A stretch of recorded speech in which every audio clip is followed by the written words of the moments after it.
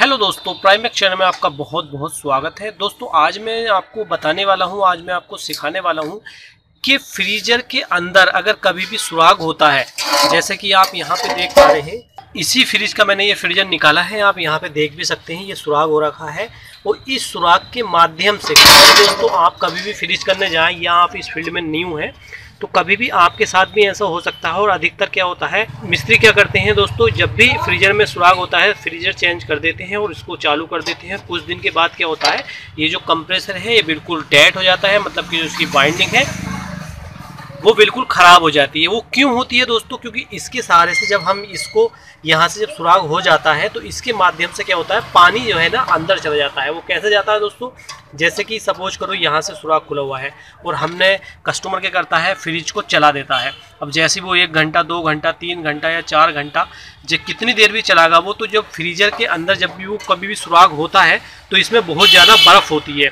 जब वो कोशिश करता है बर्फ़ को छुटाने की तो उसको सुराग हो जाता है और जब बर्फ़ पिघलता है और हमारा फ्रिज चालू रहता है तो इसके माध्यम से क्या होता है, यहाँ से जो है वो गैस अंदर की तरफ़ को, अपनी तरफ़ को खींचने लगता है। जब वो अंदर की साइड में जब वो खींचता है तो यहाँ से क्या होता है, पानी जो है अंदर जाने लगता है। जब पानी जाते जाते क्या होता है, इन पाइप के माध्यम से यहाँ से होता हुआ पाइपों के माध्यम से होता हुआ हमारे कंप्रेसर में चला जाता है। जैसे ही हमारे कंप्रेसर में जाता है तो पानी जो है पूरे में मॉइस्चर बना देता है और साथ में हमारे पाइप जो है वो ब्लॉक कर देता है और साथ में हमारा जो फ़िल्टर वगैरह है वो सब कुछ चोक कर देता है। तो कभी भी आप कभी भी जाएँ, कभी भी इस तरीके का आपके फ्रीजर में कभी भी सुराग हो तो आप एक बार ज़रूर चेक कर लें, कस्टमर से पूछ लें कि हाँ सर, आपने ये फ्रीजर कितनी देर चलाया है और किस तरीके से चलाया है और कितने दिन चलाया है। उसके ही हिसाब से अगर सपोज़ करो उसने तुरंत वो फ्रिज बंद कर दिया है तो तो कोई दिक्कत नहीं आएगी। लेकिन उसने अगर फ्रिज हमारा ज़्यादा देर चला दिया है, घंटा, दो घंटा, तीन घंटा, पाँच घंटा तो घंटे, डेढ़ घंटे या कुछ भी हो सकता है, आपका कितनी भी देर भी वो चला सकता है तो आपको सबसे पहले चेक करना है कि फ्रिज से फ्रीजर से होता हुआ हमारे कंप्रेसर में पानी गया है या नहीं गया वो कैसे चेक करेंगे दोस्तों? चलिए मैं आपको बता देता हूँ, क्योंकि मेरा मकसद आज का वीडियो बनाने का यही है दोस्तों कि जब भी आप कभी फ्रीजर को चेंज करें, सुराग हुआ हुआ, क्योंकि चाकू वगैरह जब मारता है कस्टमर तो उसमें सुराग हो जाता है गैस हमारी निकल जाती है। तो कभी भी इस तरीके के कस्टमर घर आप फ्रीज करने जाएँ तो सबसे पहले आप चेक कर लें कि हाँ हमारे जो कंप्रेसर है, उसमें पानी गया है या नहीं गया वो कैसे चेक करेंगे? तो सबसे पहली चीज़ जब आप चेक करेंगे तो आप यहाँ पर जो फ़िल्टर आप देख रहे हैं ये आप यहाँ पे फ़िल्टर लगा हुआ है तो सबसे पहले आप क्या करेंगे, इस फ़िल्टर को निकालेंगे और निकालने के बाद इसको आप काटेंगे या प्लास के माध्यम से इसको आप तोड़ेंगे। तोड़ने के बाद आप देखेंगे इसमें नमी नमी आपको दिखाई देगी।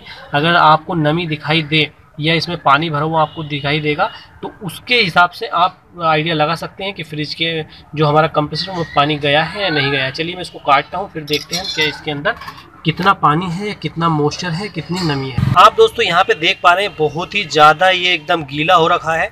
आप यहाँ पे भी देख पा रहे होंगे। यहाँ पे बहुत ज़्यादा एक गीला हो रखा है मतलब कि हमारे जो कंप्रेशर है उसमें पानी गया हुआ है हंड्रेड परसेंट क्योंकि काफ़ी दिन से बंद रखा हुआ था, इसलिए थोड़ा सा ये पानी सूख भी गया है। और जब मैंने इस पर आग दी थी तो मैंने इसको यहाँ से छुटाया था तो मैंने इसको आग से छुटाया था मतलब कि मैंने इसको बत्ती से छुटाया था। तो ये बत्ती से छुटने में खुद सूख गया है और साथ में जब मैं यहाँ पर ये टाँका जब मैंने हटाया है तो यहाँ से भी पानी की बूंदें यहाँ से नीचे गिरी हैं। और साथ में आप यहाँ पर देख रहे हैं पानी की बूंदें हैं सारी।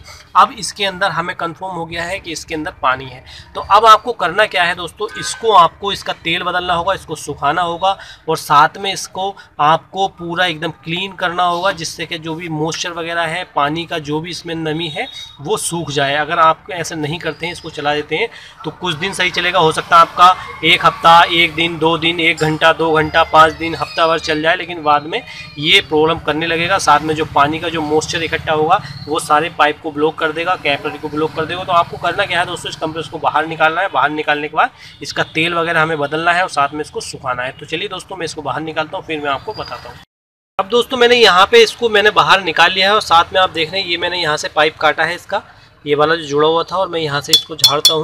तो यहाँ पे जो है थोड़ा सा, यहाँ पे पानी पानी सा आपको दिखाई दे ये दोस्तों हमें कंफर्म हो गया है मतलब एक आइडिया हमें लग गया है कि हाँ इसके अंदर पानी है। क्योंकि हमें कभी कभी क्या होता है हंड्रेड परसेंट श्योर नहीं होता है कि पानी गया है या नहीं गया है। तो इस तरीके से आप आइडिया लगा सकते हैं कि पानी गया है इसके अंदर। अब इसके अंदर पानी है तो हम क्या करेंगे दोस्तों, इस पाइप के माध्यम से सारे पाइप हम यहाँ से काट देंगे और इन पाइप के माध्यम से हम किसी चीज़ में इसमें जो तेल है इसका वो निकालेंगे और दूसरा इसमें हम रिफ्रेश करेंगे, इसको सुखाएँगे और किस तरीके से करते हैं हम ये काम, चलिए वो भी हम सीख लेते हैं। किसी प्लेट वगैरह में या किसी बर्तन में आप इसको तेल को निकालिए और निकालने के बाद हमें इसमें तेल दोबारा से डालना है। तो चलिए दोस्तों, मैं इसका तेल निकाल इस तरीके से दोस्तों, यहाँ से आप देख पा रहे हैं, यहाँ से हल्का हल्का सा पानी की बूंदें भी गिर रही हैं और यहाँ से तेल भी हमारा निकलेगा और साथ में आप यहाँ पर देख पा रहे हैं हल्की हल्की सी जो बूंदें हैं यहाँ पर आप देख रहे हैं। ये इस तरीके से देखें आप, बूंदे वाला जो हिसाब है, ये हमारा पानी का ही है दोस्तों।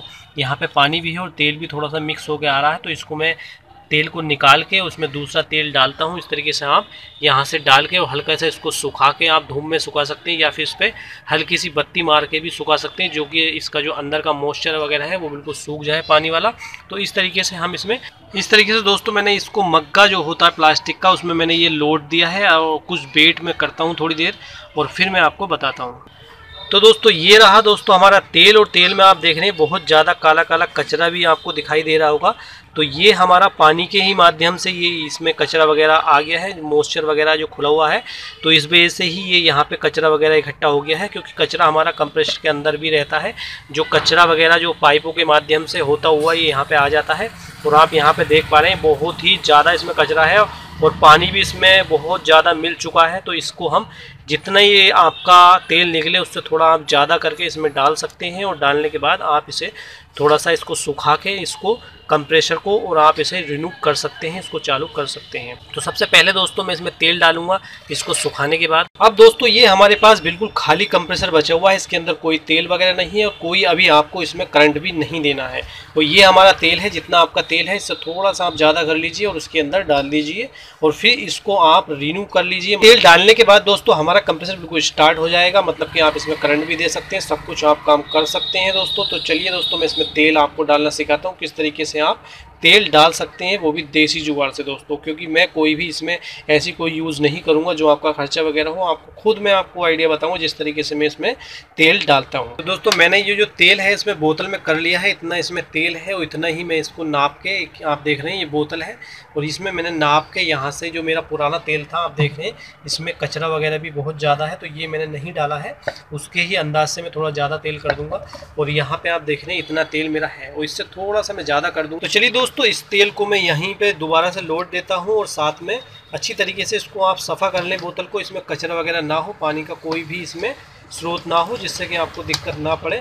और उसके बाद दोस्तों मैं इसमें डालता हूँ तेल। ये दोस्तों मैंने तेल ले लिया है थोड़ा सा मैंने इसमें बढ़ा दिया है, इतना तेल था, मैंने थोड़ा सा इतना कर दिया है। और इसमें दोस्तों यहाँ पे आर एक का ये तेल है अब कभी भी आपको ज़रूरत पड़ती है तेल की तो आप मार्केट जाइए और जहाँ पर तेल वगैरह, जहाँ पर सॉरी, कंप्रेसर वगैरह, जहाँ पर फ्रिज का स्पेयर पार्ट्स मिलता है वहाँ पे आप कहिए उससे कि आप मुझे आर एक का तेल दे दीजिए, वो तेल दे देगा आपको। और उसके बाद दोस्तों, ये डालना कैसे है दोस्तों, आप यहाँ पे देख पा रहे हैं। ये मैंने एक जुआड़ है, या मैंने एक बनाया है। और साथ में आप कोई और चीज़ भी यूज़ कर सकते हैं दोस्तों। ये मैंने एक एक्स्ट्रा टाइप का जो होता है, उसका भी आप यूज़ करते कर सकते हैं। लेकिन ये चीज़ जो है दोस्तों, ये एक बहुत हार्ड सी चीज़ होती है। दोस्तों, जो बाइंडिंग के लिए इंसुलेशन जो हमें यूज़ होता है, वो है ये। इसको मैंने मोड़ के इस तरीके से गोल सा बना लिया है और सामने यहाँ पर सुराख भी है। तो इस सुराख को मैं यहाँ पर इस तरीके से यहाँ पर बढ़ाऊँगा और कंप्रेसर को थोड़ा सा आड़ा करूँगा और यहाँ से मैं तेल डाल दूँगा। बहुत ही आसानी से, इस तरीके से तेल डल जाता है। कोई भी मुझे परेशानी नहीं पड़ेगी। इस तरीके से दोस्तों मैंने यहाँ पे ये पाइप में यहाँ पे लगा दिया है और हल्के हल्के करके मैं यहाँ से इस तरीके से तेल डालूँगा और ये बहुत ही आराम आराम के साथ में यहाँ से तेल धोए जाता रहेगा और जाने के बाद यहाँ पे आप देख रहे हैं धीरे धीरे करके ये तेल जाने लगा है। पूरा तेल यहाँ से जाने के बाद मैं इसको रिन्यू कर दूँगा मतलब कि मैं इसको कंप्रेसर में यूज़ कर सकता दोस्तों, इस कंप्रेसर में हम तेल वगैरह सब कुछ डाल चुके हैं। ये कंप्रेसर हमारा बिल्कुल रेडी है। अब आप इसको स्टार्ट कीजिए, चालू कीजिए चेक कीजिए और इसको फ्रिज में आप यूज़ कर लीजिए। कोई भी दिक्कत आपको नहीं आने वाली है। आपकी जो भी प्रॉब्लम है सोल्व हो जाएगी। और दोस्तों, कभी भी आप जब भी इसको चेक करें तो आपको जब तक इसमें तेल वगैरह ना डालें तब तक आप इसको करंट ना दें। अगर ऐसा आप करते हैं बिगड़ तेल डाले हुए बिगड़ इसको सुखाए हुए तो जो आपकी वाइंडिंग है, वो बिल्कुल ख़राब हो जाएगी। अगर बाइंडिंग ख़राब हुई तो आपका जो कंप्रेसर वो बिल्कुल डेड हो जाएगा। मतलब कि आपका वो कभी भी नहीं चल पाएगा। आपको फिर न्यू कंप्रेसर ही लगाना होगा। अब दोस्तों नया सवाल एक और आता है हमारे दिमाग में कि अगर तेल वगैरह डालने से भी हमारी बाइंडिंग यहाँ से आप देख पा रहे हैं, यहाँ से बिल्कुल ठीक होती है, लेकिन फिर भी कंप्रेसर स्टार्ट नहीं होता है। उस कंडीशन में हम क्या करते हैं तो वो भी मैं अगली वीडियो बनाऊँगा आपके लिए। लेकिन आज के लिए दोस्तों, बस इतना ही दोस्तों, बस मुझे आपको सिखाना था कि कभी भी कंप्रेसर के अंदर पानी आता है तो किस तरीके से उसको रिमूव किया जाता है, किस तरीके से उसमें प्रॉब्लम को सोल्व किया जाता है। आई होप दोस्तों ये वीडियो आपको पसंद आई होगी। दोस्तों वीडियो आपको पसंद आई तो दोस्तों लाइक ज़रूर कीजिएगा। इतना हक तो दोस्तों मेरा बनता ही है दोस्तों।